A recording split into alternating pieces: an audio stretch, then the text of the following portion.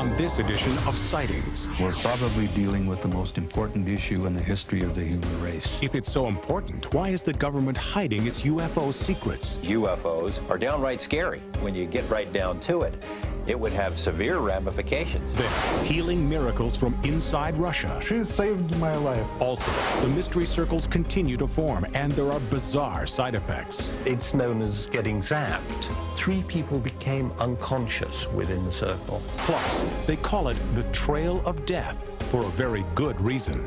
The whole area is haunted by pioneers that were killed. Later, guided imagery saves lives. Then, the animals have a quake sense? I didn't know what it was that she was trying to tell me. And then when the earthquake hit, I knew what was wrong.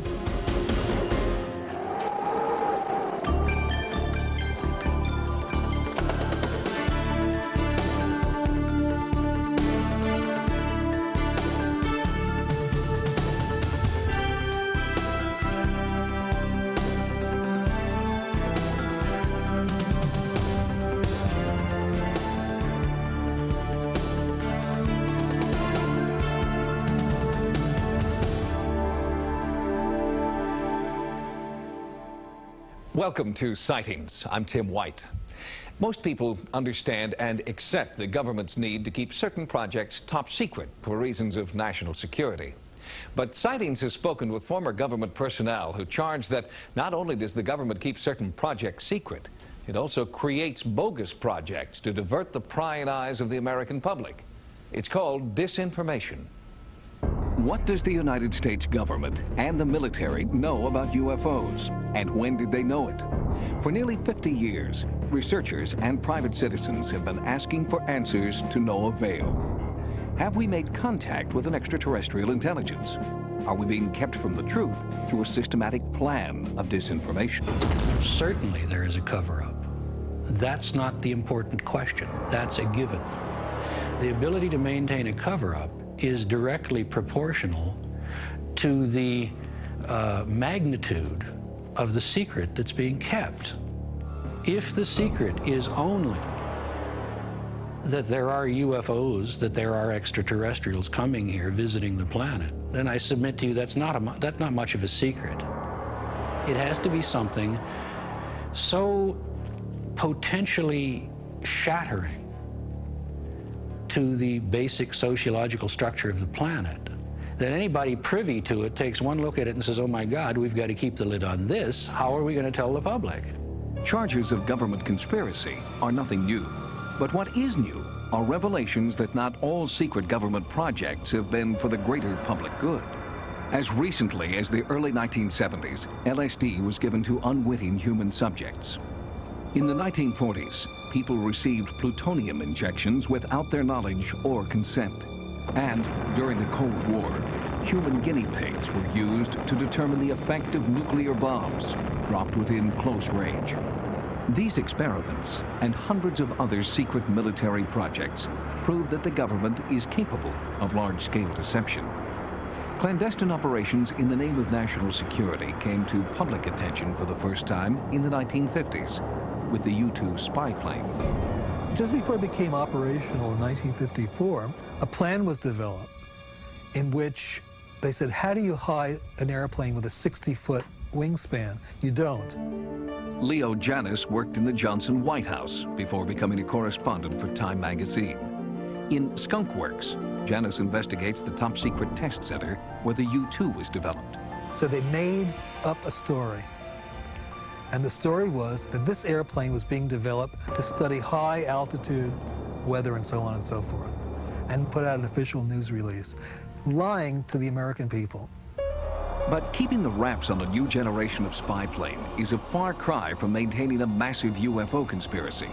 Skeptics charge that if our government does have evidence of alien craft or life forms, someone, somewhere, would leak it. That a secret this big just could not be kept. Nonsense. Nonsense. You can do it. I'm convinced of that. George Knapp is another investigative reporter who believes that the U.S. government consistently hides the truth from the public.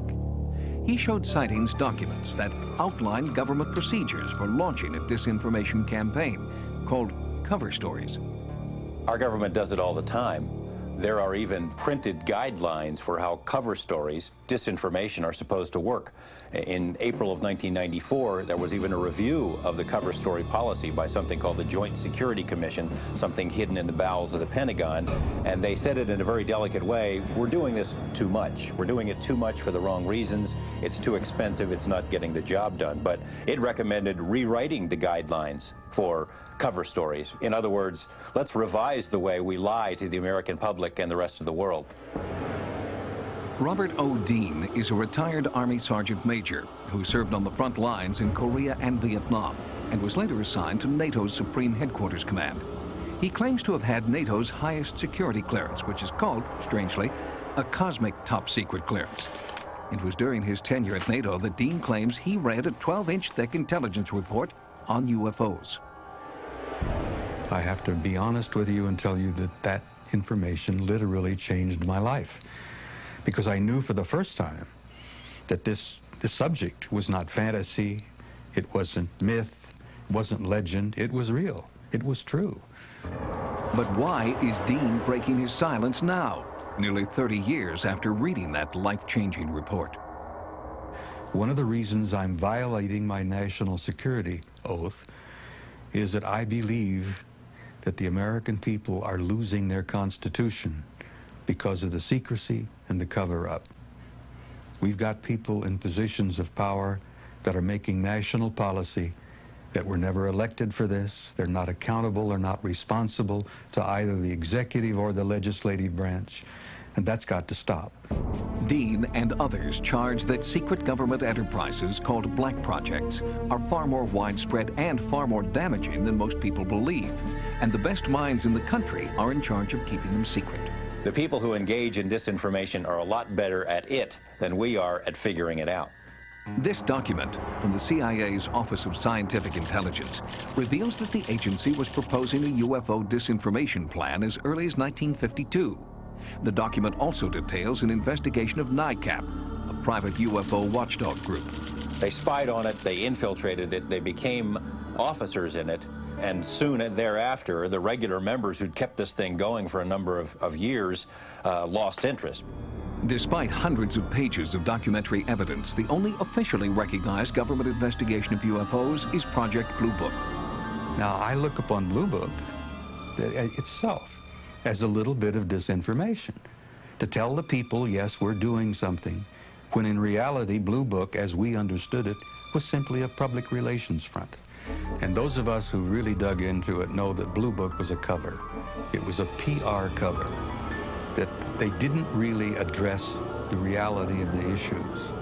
It was a PR attempt to show the public, well, we're doing some research. Yeah, we're really paying attention to it.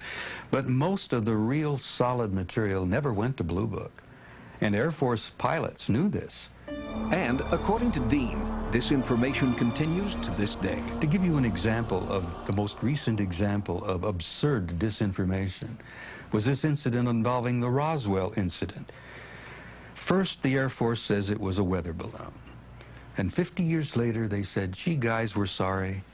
It really wasn't a weather balloon. It was much more than that, but it was a balloon. Project Mogul. Well, I'm, I'm tempted to use terms that you'll have to bleep out. This is garbage. Uh, that's disinformation. That's lying through your teeth to the American people. And if that isn't disinformation, I don't know what is. What Dean is referring to is this 23-page statement about the Roswell incident released by the Air Force in late 1994. In it, the Air Force attempted to link veteran researcher Stanton Friedman to ludicrous stories in the tabloid. They said in 1978, an article appeared in a tabloid newspaper, the National Enquirer. The fact of the matter is, there wasn't an article in the Enquirer. So it's not only wrong information, it has a purpose to create a false picture of what was going on. After all, it's just tabloid nonsense. Bob Dean believes that there have also been attempts to discredit his UFO investigations. We're not merely dealing with probably the most important issue of our time, we're probably dealing with the most important issue in the history of the human race. This is something I believe in my heart, that the truth on this issue will literally set us free. George Knapp is not so optimistic. I don't see any way it's ever going to end. The nature of the information itself. I mean, uh, we all say we have a right to know. We want to know. We're ready. I'm not sure we are ready. You know, some of the some of the more outrageous aspects of, of uh, alien visitation, UFOs, are downright scary. And we can say we're ready all we want, but I think when you get right down to it, it would have severe ramifications. Sightings is in the midst of its own investigation into charges of a government UFO conspiracy. We have examined hundreds of documents, including this Air Force study that concludes that there is a possibility of alien visitors to our planet, or at least of alien-controlled UFOs. We'll bring you our full report on upcoming editions of Sightings. When Sightings continues, they've been hidden from the West, but now Russian psychics share their healing secrets. She saved my life. In the 1970s, Americans saw startling black and white film of Russian psychics apparently endowed with telekinetic powers. Were they fakes, magicians, or could they really move objects with the power of the mind? Americans had no way of knowing. Russia was a closed society. But today, our sightings crew traveled freely in a more open Russia, searching for those legendary psychics. In Moscow, our Russian contact suggested that film of psychics with telekinetic powers was part of a U.S. propaganda campaign aimed at discrediting the Soviet Union. And that while America was focused on bogus mentalists, real Russian psychics were healing people with serious illnesses.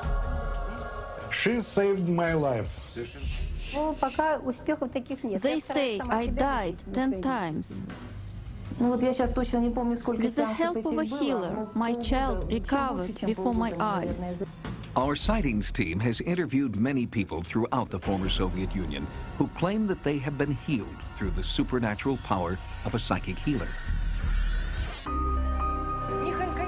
And no healer is more renowned than 65-year-old Maria Larionova, who believes that she can transfer healing energy through her hands. I operate with cosmic instruments. My hands are covered with invisible gloves.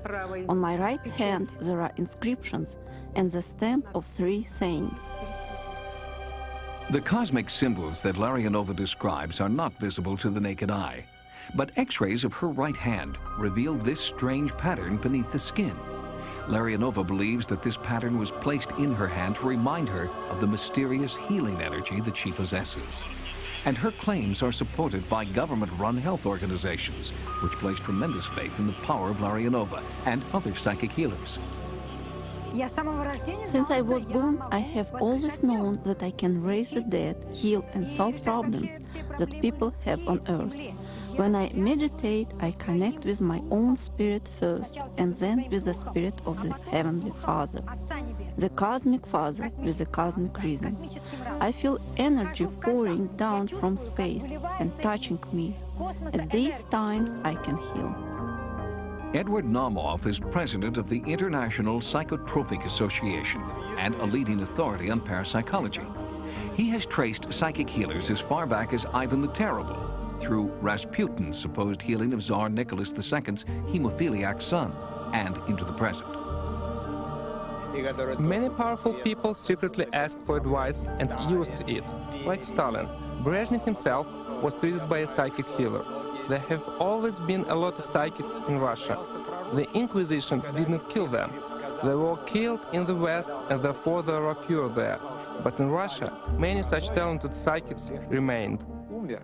Sightings was invited to observe a demonstration of psychic healing. Kirlian photographs of Mazia's fingertips were taken before and will be taken after a healing session. These photographs are said to capture an electromagnetic aura emanating from the human body. This woman is suffering from liver disease. Before Mazia begins, doctors take baseline readings of the patient's physical condition. Using an electronic sensor popular in Russia, but little known in this country, doctors will compare these readings to those taken after the patient session with Mazia. My grandmother possessed a healing gift as well as a gift for black and white magic. My abilities came to me through the genes. This is the Kirlian photograph of Mazia's fingertip taken before the healing session. This is the same fingertip after the session. There is a marked increase in the amount of electromagnetism represented here in red. Researchers believe that it is this increased magnetism that somehow creates an environment conducive to healing. I felt so happy. I even had tears in my eyes, but it was from happiness. I felt extremely light. I wanted to fly away. And when the doctors compared readings that they had taken before and after the session, there were dramatic changes in the patient's physiology. All organs are returning to normal. It seems that they are in balance and she has entered the corridor of health. But the doctors also cautioned us that the effects of the healing seem to be temporary. Doctors here are continuing to work with Masia and other psychic healers in a long-term study. I have had many different treatments over the years for my condition. I have even been declared dead 10 times before finding this procedure. Larionova specializes in healing spinal injuries and severe spinal deformities. She claims that she can relieve pain and correct deformities through a kind of psychic massage in which she transfers energy into her patients.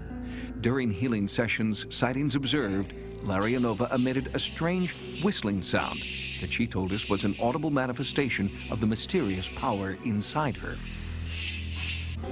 Another seeming manifestation of Larionova's power can be seen in these photographs. Special heat-sensitive film has captured something surrounding Larionova's hands that resembles a mist or fog. Only her hands have been photographed in this way, leading researchers to believe there is an important connection between this phenomenon and Larionova's supposed psychic powers. As strange as these healing methods may seem to us, they are part of a long tradition of healing in Russia that has outlasted changing governments and ideologies. Since Imperial Russia, we have looked for a material source of paranormal phenomena. In the West, only the psychological part has been developed, while we try to penetrate the depths of psychology and physiology. We are only now learning what 70 years of communist rule tried to keep hidden. Throughout Russia and the Commonwealth of Independent States, psychics are performing healing miracles worthy of further study using Western methods. The study has yet to begin. For many people, psychic healing is a last resort after all traditional medical approaches have failed. But in most of the towns and villages throughout the former Soviet Union, psychic healers are the only healers. Their psychic powers are accepted without question, just as they have been for centuries. Next, a crop circle update. What is the British government hiding? These formations are the product of, of a creative and inventive intelligence. Recently, sightings brought you remarkable videotape of mysterious lights that appear to be creating a crop circle in southern England. The British Ministry of Defense dismissed the lights, claiming they were simply reflections from helicopter strobe lights. But the lights keep appearing, and the crop circles keep forming. If the Avebury mystery lights are simply reflections and crop circles are all hoaxes, why is this military helicopter so interested in this field in southern England, a field where a new crop circle has just been formed? If they have nothing to hide, why do they appear to be threatening this civilian photographer with low altitude maneuvers?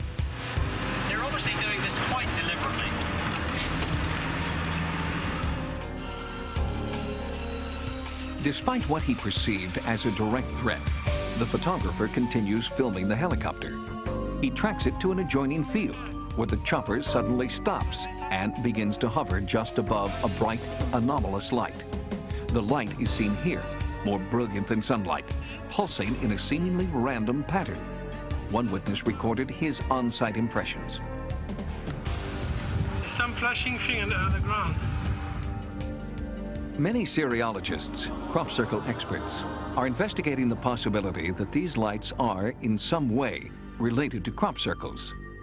One theory being tested suggests that the lights are swirling energy balls that create an electromagnetic vortex which flattens, but does not burn, crops. Researchers do not believe it is a coincidence that crop circles appear almost immediately after the lights are observed.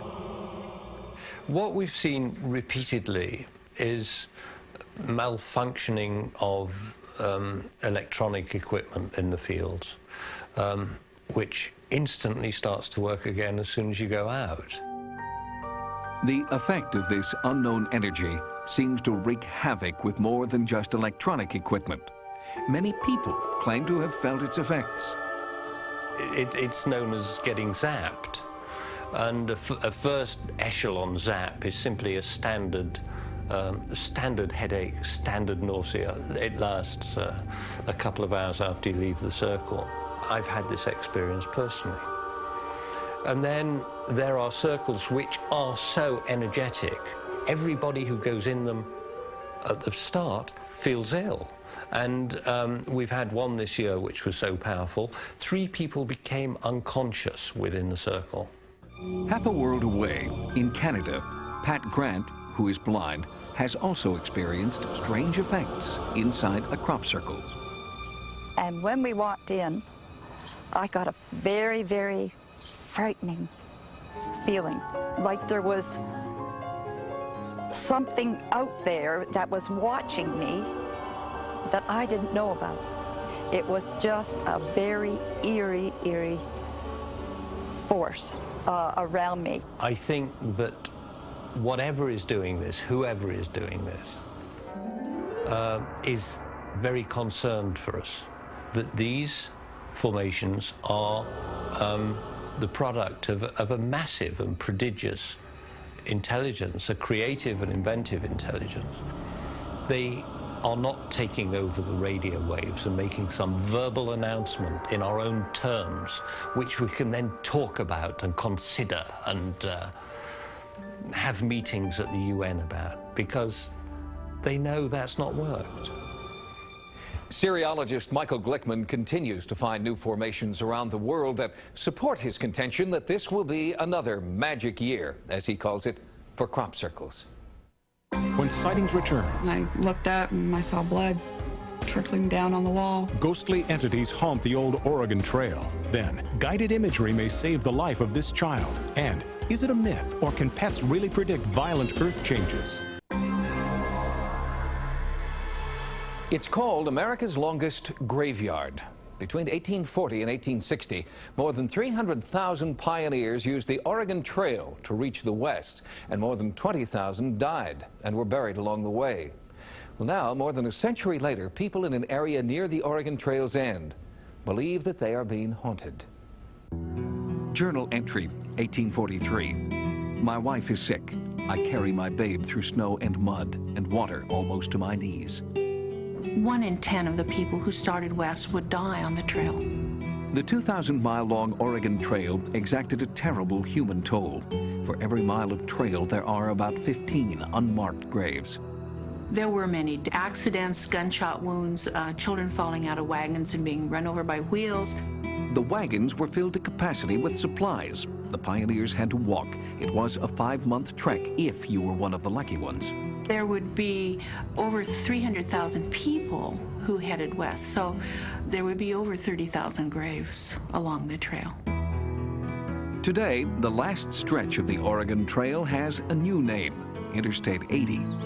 And Trail's End is flanked by homes and industry never dreamed of by the pioneers.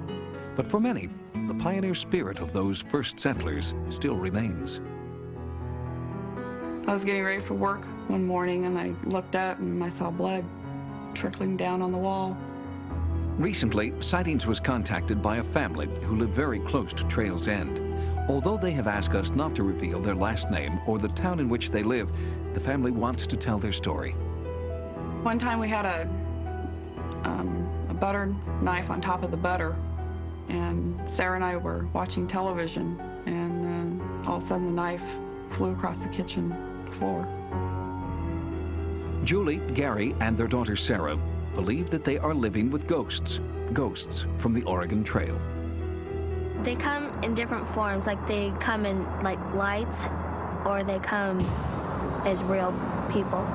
We had a plant sitting over there by the table in the living room, and we'd come home and the plant would be in the middle of the floor. Julie and Gary believe that these photographs capture physical manifestations of apparitions the entire family has felt, including the family dog. Our dog Bandit, he um, sits there and he looks the air, he barks at like somebody's petting him. Most of the activity takes place in what used to be Sarah's bedroom.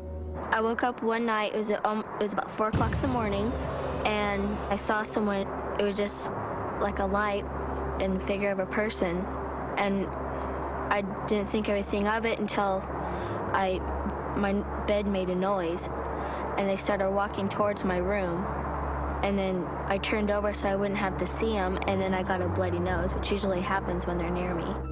She'd uh, get to the point that she wouldn't go into her room. Sarah would have to sleep on the floor in our bedroom because she was afraid to go to go into her room.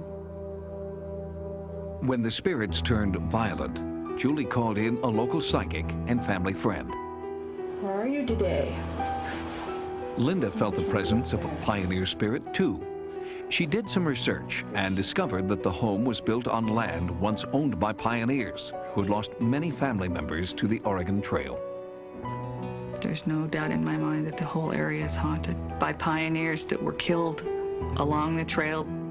Although only one family has come forward, many locals told our sightings crew, off the record, about the ghost of a little boy who wanders through town.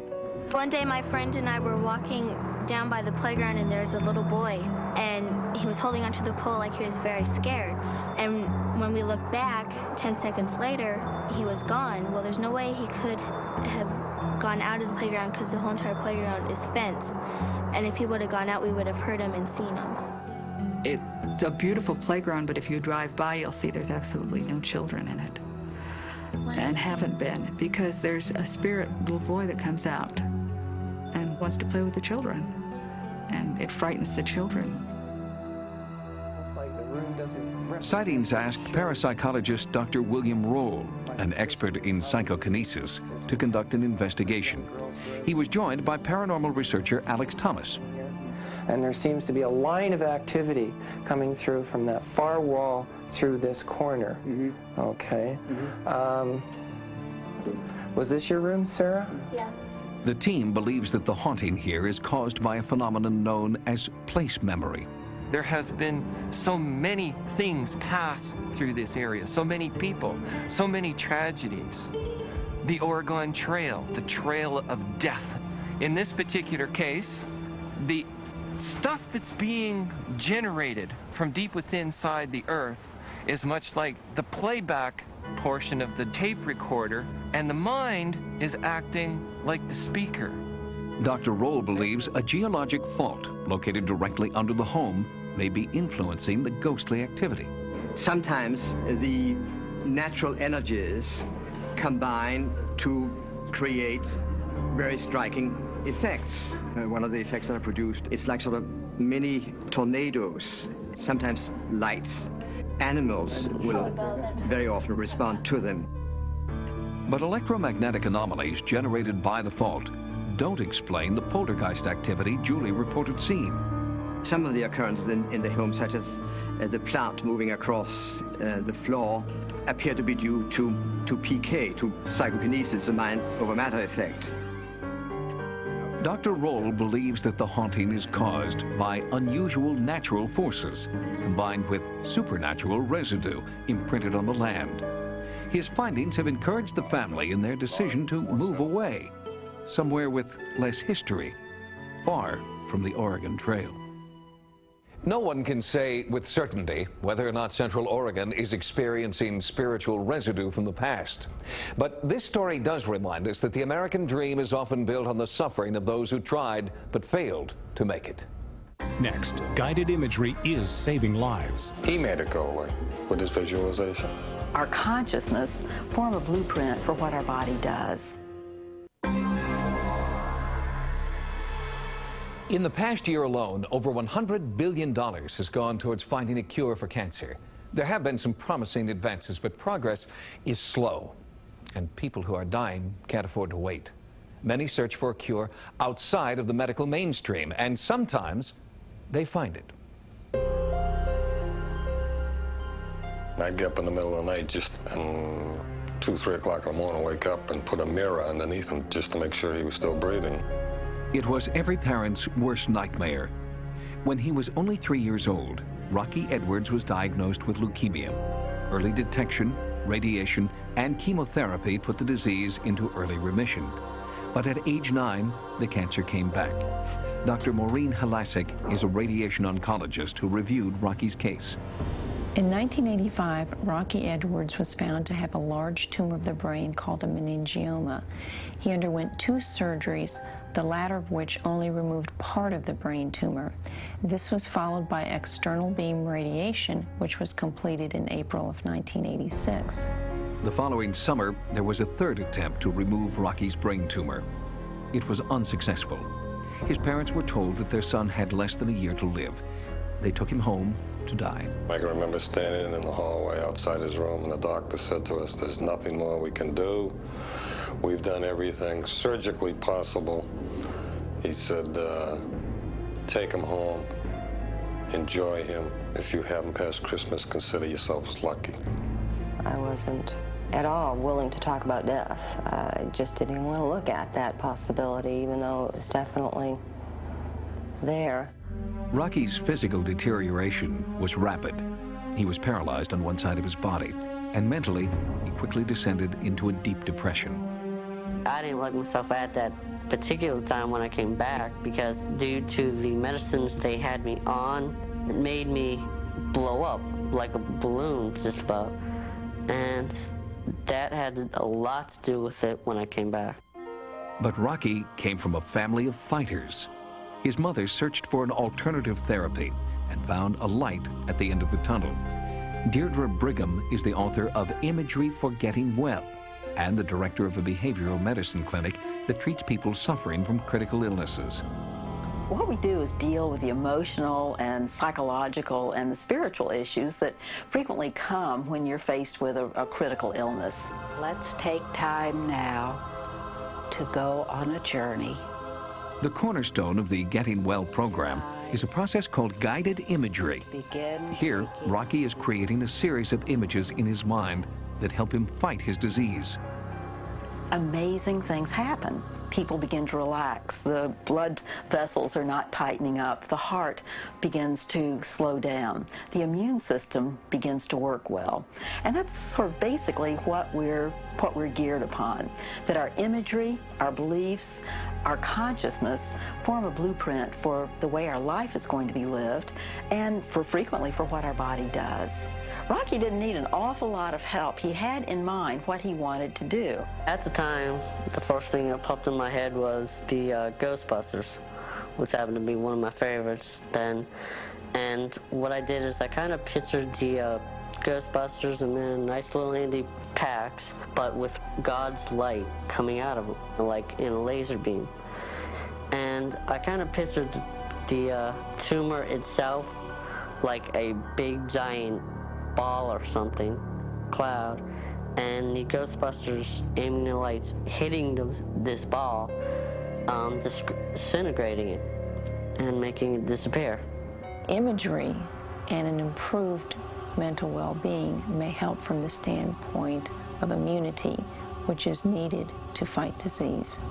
The Getting Well program was founded on the principle that mental well-being, laughter, and love are the keys to physical recovery. I don't like the idea of terminal.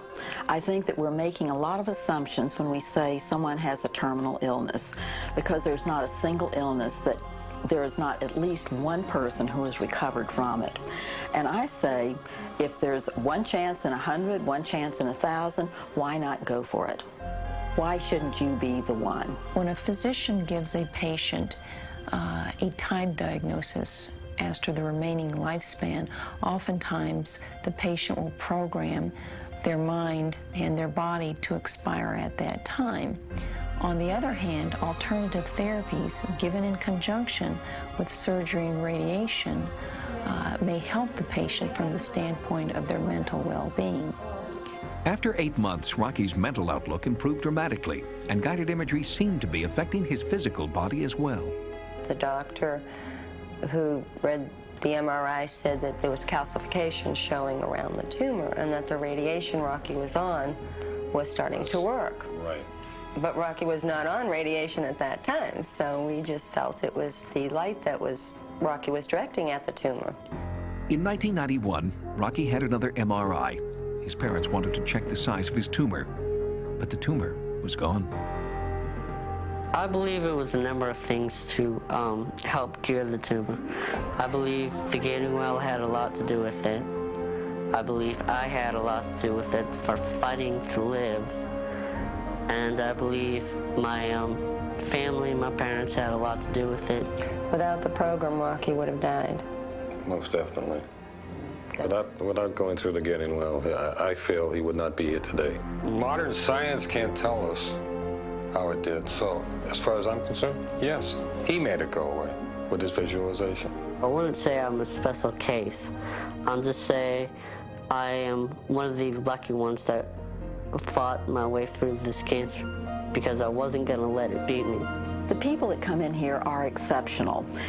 And it doesn't mean exceptionally intelligent or exceptionally rich or whatever, but there is something within them that is willing to risk things for their own dreams.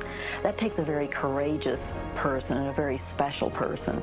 But if a person is willing to do that, it can happen to anyone. It's important to note that guided imagery is not intended to replace a patient's current course of cancer treatment. No one should undertake any alternative therapy without discussing it first with their own doctor. When sightings returns, the experts call it quake sense, and it may save your life. I know this sounds crazy, but I know my cat predicted the earthquake. It's been a year since the 6.8 Northridge earthquake hit Southern California.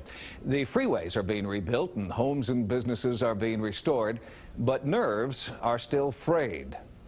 When will the big one strike? Seismologists say it's impossible to predict the exact date of any earthquake, but some people believe that animals possess a sixth sense that warns them when the earth is about to move. It's called quake sense. Fish will jump in the air sometimes before earthquakes. Uh, just a whole schools of fish leaping in the air. The pigeons really went, if I can use the phrase, bonkers. I know this sounds crazy, but I know my cat predicted the earthquake. Mainstream scientists dismiss these accounts as anecdotal. They insist that there is no way for any animal, including humans, to predict an earthquake. But Sighting spoke with one respected scientist who disagrees. I was sort of unwilling for many years to accept that animals really knew something that our scientific gadgets couldn't detect. Jim Berkland is a geologist who spent 20 years analyzing earthquakes for Santa Clara County, California. During that time, he noticed that an unusually high number of pets ran away from home just before a big quake. I was reading the lost and found column, and I almost shuddered to see 27 missing cats when I was used to seeing three or four. What do the cats know that I didn't? They're reacting to the electromagnetic field and the magnetic fields that change prior to quakes. This is documented. We know that these changes occur. And I'm convinced that animals can detect these changes. Before Berkland began linking animals and earthquakes, he was well known for his seismic windows theory that the changing gravitational pull between the moon, sun, and earth has a reciprocal effect on earthquakes. Combining that theory with information about missing pets in Northern California, Berkland accurately predicted the 7.1 quake that hit San Francisco in 1989. This newspaper account of Berkland's prediction appeared four days before the actual quake occurred. I have never seen anybody predict earthquakes as accurate as he does. Nick Corini raises championship homing pigeons. He depends on Jim Berkland's predictions before racing his birds competitively.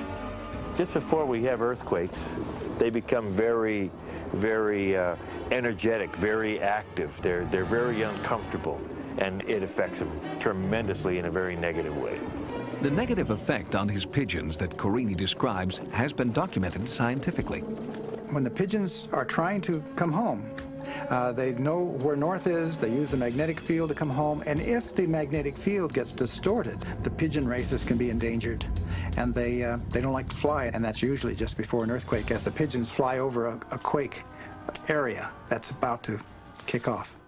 We know that animals have senses that are much more developed than ours. Dr. Bernadine Cruz believes that animals do have special sensitivities that humans do not possess. Animals have some abilities that we will never have. A dolphin's ability to echolocate, a bat's ability to send out these sonar waves and to pick it up and to be able to get around basically blind. I don't know if I can honestly say that an animal can tell when an earthquake is about to happen. I think they can sense that there are changes that are going on in their environment.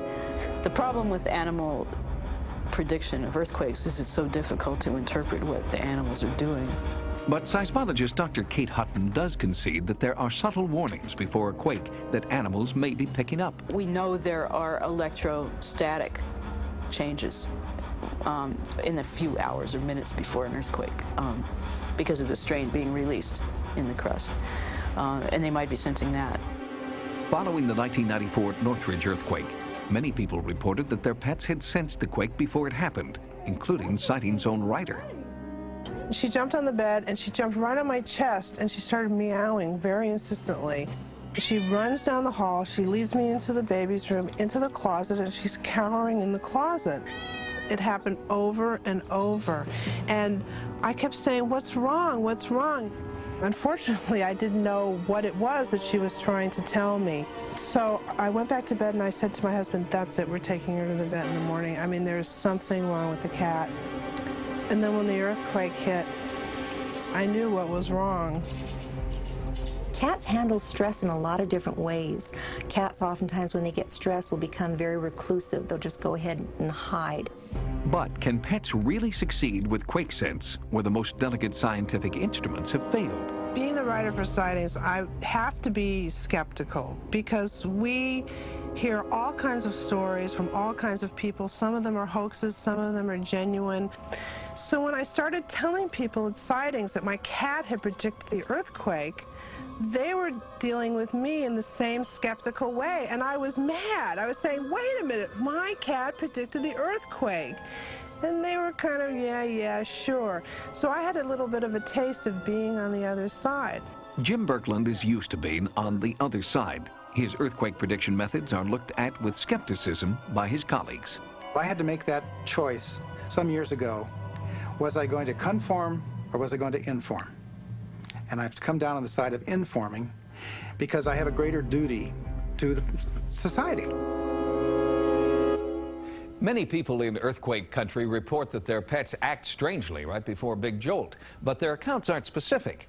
Until pet owners begin writing down and documenting their animal's behavior, the concept of quake sense will remain unproved and unaccepted by science.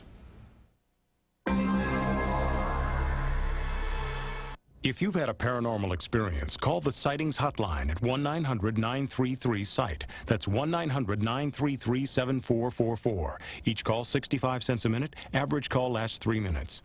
Sightings is also online. Our email address is sightings at AOL.com. Until next time, remember, no mystery is closed to an open mind. For Sightings, I'm Tim White.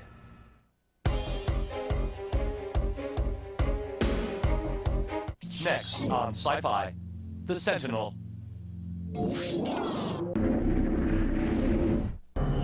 This week at sci-fi.com. In a dark future, Chi-Chong must save Manhattan from the evil insect menace. Chi-Chong, the animated series. Only online, only at sci-fi.com.